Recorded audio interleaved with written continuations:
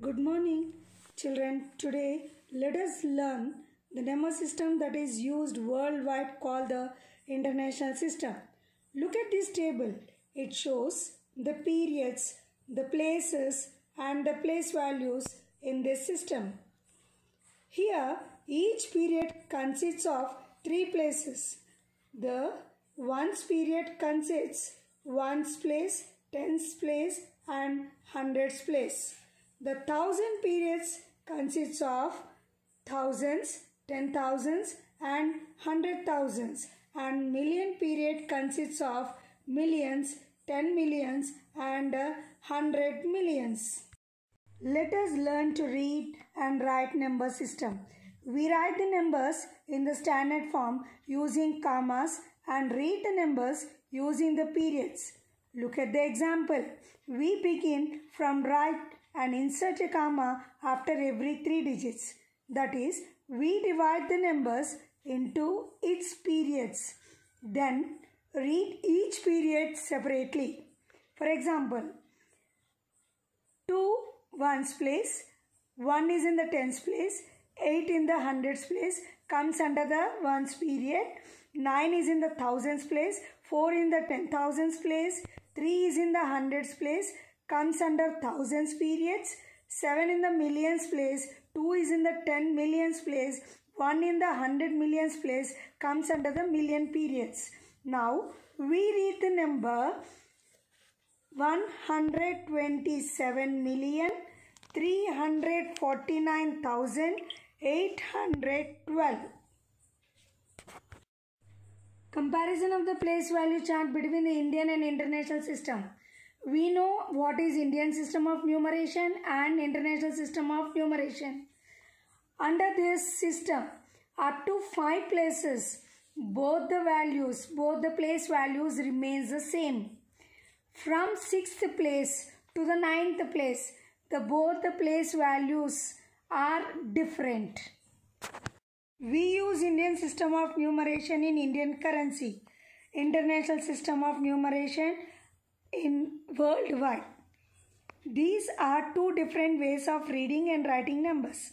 However, the value of the number does not change as 6th place under Indian system value 1 lakh under international system 100,000. 7th digit value under Indian system 10 lakhs, international system 1 million. 8th digit 1 crore under Indian system 10 millions under international system. 9th digit 10 crores under Indian system, international system 100 millions. Value is the, remains the same, namings are different under two system. Long ago, the Romans used seven letters of the English alphabet or seven basic symbol numbers. Roman numerals originated in ancient Rome. Romans did not have zero in their number system and were not aware of the place value system either. One Indian system denote I as Roman numeral, 5 as V, 10 X, 50 L, 100 C, 500 D, 1000 M. These are the seven basic symbols used under Roman numerals. Rules for writing numbers as Roman numerals are as follows. Rule 1. Roman system does not use place value. The letters I, X, C and M can be repeated not more than 3 times. Example, I denotes for value 1, I, I, I. Value sum of the 3 letters is 3. X, X, X. It denotes X value 10. So 10 plus 10 plus 10 is equal to 30. I can be subtracted from V and X only.